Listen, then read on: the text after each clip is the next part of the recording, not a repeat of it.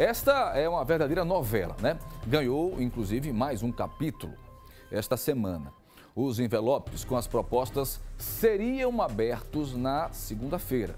Seriam, caso a empresa Torre, até então tida como a preferida da atual gestão, né, é o que dizem, não entrasse com pedido de suspensão alegando 17 pontos supostamente irregulares. Bem, a Diretoria de Controle Interno de Obras e Serviços do TCE acolheu as denúncias e, por isso, suspendeu parcialmente o pedido. Aqui comigo está Adir Machado, foi exatamente o, o cara que fez a análise né, desse pedido, do edital. E eu lhe pergunto, já antes de mais nada, seja bem-vindo aqui mais uma vez ao Balanço Geral Sergipe. Ele, esse gosta de abacaxi, descascar abacaxi é com Adir Machado lá no TCE. Eu lhe pergunto, afinal de contas, Adir, esse edital lançado pela Prefeitura é ou não é meia boca? Olha, o edital, é, em uma análise preliminar, parece poder ter sido melhor elaborado. É, então, então é meia é, boca.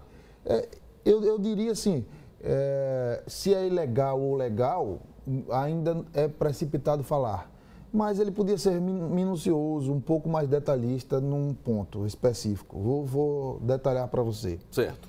É, há uma discussão da empresa Torre se este, se este serviço deveria ser feito em dois lotes, três lotes, dez lotes, enfim. O número de lotes que está disposto no edital é fruto de um questionamento da empresa Torre.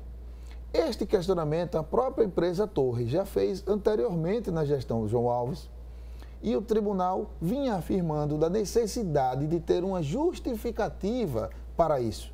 Não que o tribunal possa dizer são dois lotes, são dez lotes. Isso compete ao gestor definir. Mas é interessante para o tribunal, para a sociedade, para os competidores na licitação saber por que não dois, por que não seis, por que não quatro? Por que não quatro? O, o fato é que esse Como mesmo serviço, com o, o, contrato emergencial, pronto, esse que serviço, poderia servir de referência, serviu, serviu. Esse serviço já foi feito em dois lotes, já foi feito em três está sendo executado em quatro e por isso mesmo, segundo a Insurb, manteve a estrutura, já que está funcionando com cavo e torre, certo. executando serviço em quatro lotes, manteve é, a situação. Mas a gestão anterior alegava que seis era mais econômico. Uhum. Só que para o gestor público, a obrigação é escolher a melhor opção a opção mais econômica. E isso precisa estar à vista da sociedade, à vista do Tribunal de Contas. Então o edital falhou nesse ponto. No meu sentir preliminar, poderia ser mais claro nisso. Como não era prudente, naquele instante, é, chegar a conclusão definitiva sobre isso, sem passar pelo plenário, sem uma discussão do Ministério Público Especial de Contas. A intenção foi, não é de imediato barrar a licitação, recolher as propostas. Não, foi permitir que a sessão fosse aberta, a proposta fosse colhida, porque acaso essas impressões primeiras sejam derrubadas neste curso, a licitação continue, que é, na verdade, o grande interesse público.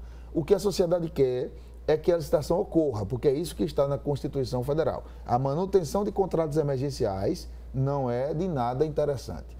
Portanto, o tribunal está trabalhando sob o comando do conselheiro Ulisses Andrade e com a parceria que ele tem com a presidência do tribunal, o conselheiro Cláudio Barbosa, está trabalhando para, no máximo, preservar o edital, preservar a licitação, fazer com que ela ocorra no mais breve espaço de tempo. O que você está dizendo, Emergência a gente não quer. Pois é. Tribunal Ninguém quer, quer licitação emergencial. É ruim Mas... para o erário público, é ruim para o serviço, é ruim para a própria prefeitura, para o, o, o povo que está sofrendo, né? que na ponta dessa corda aí é o povo que sofre, né? Porque não tem um serviço de fato de qualidade. Né? melhorou, mas ainda não é, o, não é o ideal. É importante que a gente diga isso.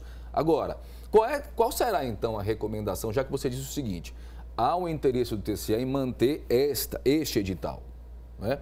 a, não, a não ser que é, é, para isso a prefeitura terá que fazer algumas modificações, é isso? É, será a recomendação? É, por, que, que, por que da prudência nisso? Porque se de repente esse edital concluirmos que ele podia ter sido melhor, e não foi. Mas essas falhas não são suficientes para prejudicar a competitividade da licitação se não tiver nenhum prejuízo para os competidores e para a fixação do preço final. Preserva-se. mas acaso a lei seja ferida, acaso o interesse público seja ferido, acaso a competição seja minimizada, atrapalhada é, por uma falha do edital, aí realmente o que a gente não quer, que seria cancelar o edital, ordenar a prefeitura que faça retificação, republicação e, e, a coisa volte para estaca zero, terá de ocorrer, porque é o ofício do tribunal. Sei que é polêmico para a sociedade. Suspendeu mais uma vez. É, a licitação do lixo. E muitas Sim, vezes não, tentam colocar tá isso. correto, tem que suspender mesmo. Ok, mas às vezes tentam colocar isso na nas costas do tribunal, né? dizendo que como se é o tribunal como fosse responsável pelo, pela, pela licitação. O interesse de sair postergando a licitação quando é completamente o inverso. Ao contrário, Agora, vocês estão garantindo exatamente a, a coisa lícita. Vezes do presidente Cláudio Barbosa e via confirmação do conselheiro Luiz Andrade dizendo que seja qual for a situação,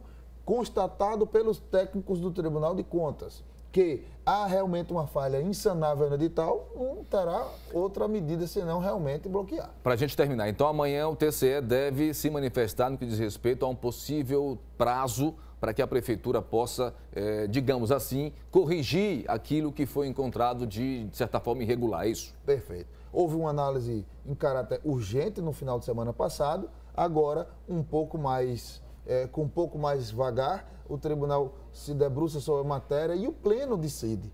É uma razão muito simples para o pleno é, se dedicar a essa matéria, que é matéria complexa, de interesse de toda a sociedade, nada melhor do que distribuir este debate entre os sete conselheiros que Perfeito. estão lá para isso. Perfeito. Bom, é só importante destacar que nós convidamos também o presidente da, da Insurb, o Luiz Roberto, né? E até um pouquinho antes da, dessa edição, é, tinha-se a confirmação dessa entrevista, desse debate que nós iríamos criar, mas aí ah, ah, o Luiz Roberto surgiu um outro compromisso, provavelmente com o próprio prefeito, e ele não pôde participar aqui, mas o espaço está garantido.